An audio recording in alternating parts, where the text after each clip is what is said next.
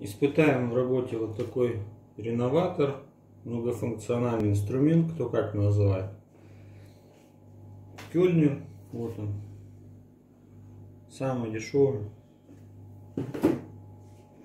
Попробуем, это стандартная насадка, которая идет в комплекте с ним, попробуем как работает. Толстый ламинат 12 миллиметров.